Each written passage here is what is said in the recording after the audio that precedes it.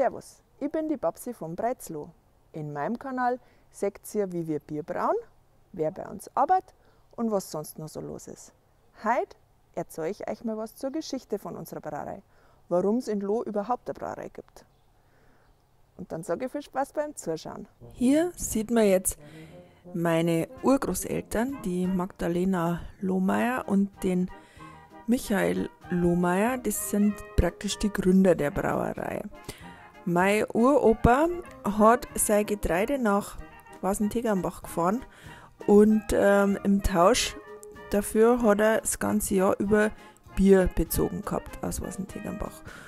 Und nachdem der Wirt in Wasentegernbach meinem Uropa immer weniger gezahlt hat für die Gersten, wie alle anderen rundum, hat mein Opa sich gedacht, er lässt sich jetzt das nicht länger gefallen und fängt einfach selber das Bierchen an. Er hatte nämlich erfahren von einem Braumeister, der in Loh auf die Jagd ging, dass man für den Eigenbedarf selber Bier brauen darf. Und zwar 20 Liter im Monat für den Eigenbedarf. Und dann hat er das angefangen. So hat jetzt das erste Sudhaus ausgeschaut.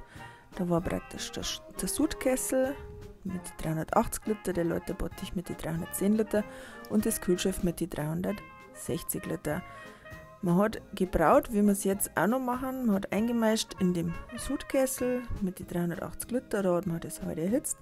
Danach kam es in den Läuterbottich. Vom Läuterbottich aus hat man dann das Klare wieder gekocht in dem 380 Liter Behälter und danach wurde das Ganze in das Kühlschiff gebracht ähm, mit die Eimer und da ist diese heiße Würze dann ausgekühlt und von da aus hat man es dann in den Kartoffelkeller getragen. Und es waren immer viele Leute auf dem Hof. Man sieht schon die Familie Lohmeier, die haben ja sechs Kinder gehabt, also waren dann zu acht. Und auf dem Bild sieht man jetzt meinen Urgroßvater, eben den Michael Lohmeier, seine Frau. Wenn man jetzt im Uhrzeigersinn rumgeht, der Max Lohmeier, dann die Magdalena Lohmeier, später die Wagnerwirtin, dann der Josef Lohmeier, Michael Lohmeier, der dann die Landwirtschaft gekriegt hat, zwei Knechte und mein Opa, der Nikolaus Lohmeier. Das muss ungefähr zur Gründerzeit gewesen sein. Nicht im Bild ist jetzt der Georg Lohmeier, der berühmte Schriftsteller. Ja, und die ganzen Leute haben ordentlich Durst gehabt und äh, haben dann musiziert in der Sturm und mein Opa hat dann fleißig Bier ausgeschenkt.